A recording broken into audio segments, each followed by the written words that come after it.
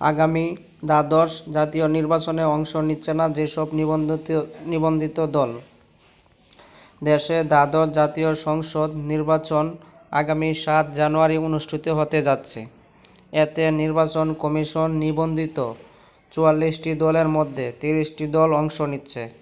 বাকি দলগুলো নির্বাচনে অংশ নিচ্ছে না।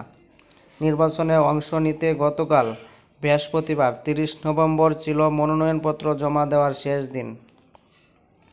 এদিন রাতে নির্বাচন কমিশন জানায়, দ্বাদশ জাতীয় সংসদ নির্বাচন উপলক্ষে তিনশো সংসদীয় আসনের জন্য দুই হাজার সাতশো একচল্লিশ জন মনোনয়নপত্র দাখিল করেছেন।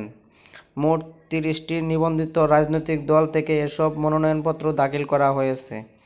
নিবন্ধিত যেসব দল নির্বাচনে অংশ নিচ্ছে না, BNP, LDP, Khelafat Majlis, CPB বাংলাদেশের বিপ্লবী ওয়ার্কার্স পার্টি, ইসলামী আন্দোলন, জমিয়াতে উলামায়ে বাংলাদেশ, ইনসানিয়াত বিপ্লব, জাতীয় গণতান্ত্রিক আন্দোলন বা এনডিএম বাংলাদেশের Jatiya Samajtantrik Dal, Bangladesh Jasad, J S D Rab, Basad BJP Bangladesh Khelafat Majlis, Bangladesh Muslim League, hurricane গণপুরাম এবং বাংলাদেশ ন্যাশনাল আওয়ামী পার্টি, বাংলাদেশ নেপগাবি উল্লেখ্য, প্রধান নির্বাচন commissioner C C C Kazi Habibul Awal গত পনেরো নভেম্বর সন্ধ্যায় দ্বাদশ জাতীয় সংসদ নির্বাচনের তফসিল ঘোষণা করেন।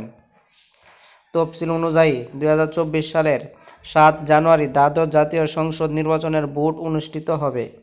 এছাড়া মনোনয়নপত্র দাখিলের শেষ তারিখ তিরিশ নভেম্বর। মনোনয়ন মনোনয়নপত্র যাচাই বাছাই এক থেকে চার ডিসেম্বর পর্যন্ত।